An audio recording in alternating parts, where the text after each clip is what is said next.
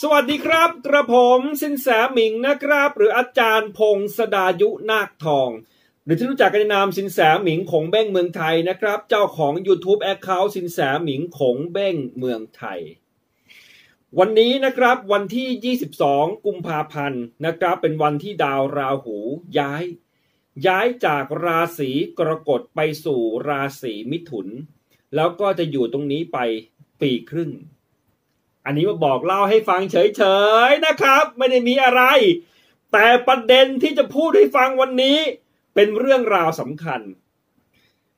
มีอยู่สามลัคนาราศีนะครับสามลัคนาราศีในช่วงจังหวะตรงนี้นะครับ ช่วงนี้ครับ ให้ระวังการขัดแย้ง นะครับ ให้ระวังถูกเพื่อนหรือเพื่อนรักหักหลังนะครับ ให้ระวังการขัดแย้งหรือถูกเพื่อนรักหักหลัง ไม่ว่าจะเป็นการหักหลังหรือขัดแย้งในแบบที่เรียกว่า เอาเรื่องของเราไปพูด หรือเราไปปรึกษาหารืออะไรก็ตาม นะครับ แต่กลับเอาเรื่องนี้ไปบอกเล่ากับคนอื่น โดยเฉพาะ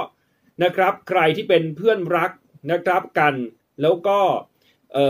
มีเรื่องที่ปรึกษาหารือกันเป็นเรื่องส่วนตัวต้องระวังมาก ให้ระวังที่สุดคือระวังโดนเพื่อนมาแอลแฟนเราหรือมาตีท้ายครัว มาแอลแฟนลัคนาราศีกัน เออ ช่วงนี้กันระวังนิดนึงนะครับ ดาวเจ้าเรือนนะครับ ดาวเจ้าเรือน เอ่อเพื่อนหรือมิตรเนี่ย โคจรไปเป็นมรณะนะ โคจรไปอยู่กับดาว มนุษย์อยู่ มีดาวราหูไปโยก ดาวตัวนี้ครับ มีดาวราหูไปโยกหน้า และอาทิตย์โยกหลัง ซึ่งความหมายตรงนี้นะครับไปอยู่ในเรือนมรณะเนี่ย แล้วมีดาวราหู ไปทำมุมอยู่อาทิตย์ทำมุมอยู่ข้างหลัง อาทิตย์เนี่ยมาจากเรือน วินาศด้วยนะครับ ระวังมันมีเรื่องอะไรลับๆ ไม่เปิดเผย หรือว่าเราไปคุยอะไรให้มันฟังมันเอาไปพูดต่อ หรือทุเลศที่สุดคือมันมา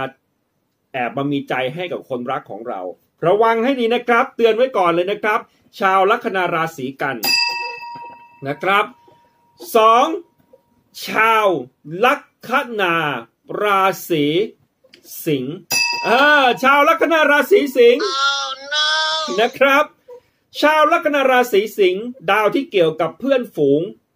นะครับที่เกี่ยวกับเพื่อนฝูงนะครับ แวดล้อมตัวคุณ ตอนนี้โคจรไปสมทบอยู่กับดาวเสาร์นะครับ แล้วมีดาวราหูมาเล็งอีกทีหนึ่งนะครับ ระวังอย่าไปไว้ใจมากไปพูดเรื่องอะไรส่วนตัวให้เขาฟังไม่ดี บางทีเราเอาเรื่องส่วนตัวเรากับแฟนไปพูด ถ้าเขารู้จักแฟนเราเผลอๆมันจะแอบไปคุยและแอบไปปลอบใจกันนะครับ ทีนี้แหละงามไส้เลย ติงกันไว้ตรงๆแบบนี้แหละนะครับ ชาวลัคนาราศีสิงห์นะครับ ระวังจะมีเรื่องเพื่อนรักหักเปลี่ยมโหด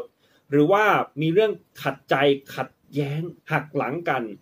โดยเฉพาะในเรื่องส่วนตัวตอนนี้ต้องระวังให้มากนะครับ นี่คือลัคนาที่ 2 คือลัคนาราศีสิงห์ สุดท้ายที่ต้องระวังนะครับ ขัดแย้งกับเพื่อนฝูง เพื่อนรักหักเดียมโหดฮ่าแล้วก็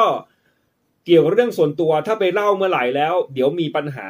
โดยเฉพาะถ้าเกิดเขารู้จักแฟนเรา ถ้าเขาไปคุยกันไปไปมาไปปอบกันอีท่าไหนไม่รู้เสือกมีใจให้กันแบบงามไส้เลยเอ้ยนะครับลัคนาสุดท้ายคือลัคนาราศีกรกฎ oh, no. นะครับ ดาวที่เกี่ยวกับเพื่อนฝูงนะครับ โคจรไปอยู่ในภพมรณะ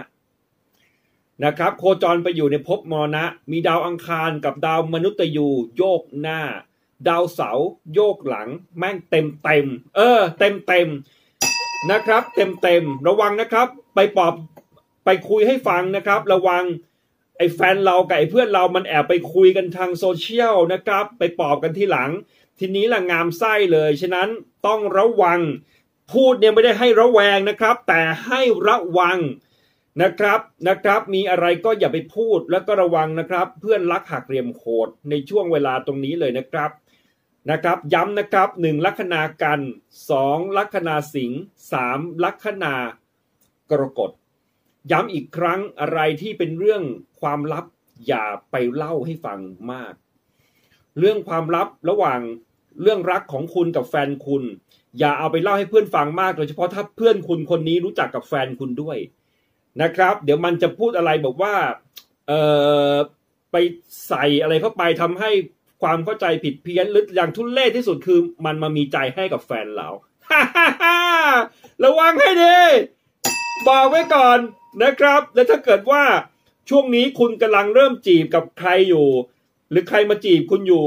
นะครับ ระวังเพื่อนสนิทคุณให้ดีนะครับ ระวังเพื่อนสนิทคิดไม่ซื่อหรือเพื่อนรักหักเรียมโหดนะครับ จะให้ใครไปเป็นแม่สื่อพ่อสื่อแม่ชักพ่อชักอะไรก็แล้ว แต่ช่วงนี้ระวังนะครับ แม่งจะเอาไปแดกซะเอง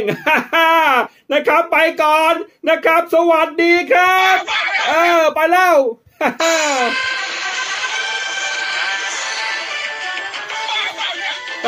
ไปแล้วครับ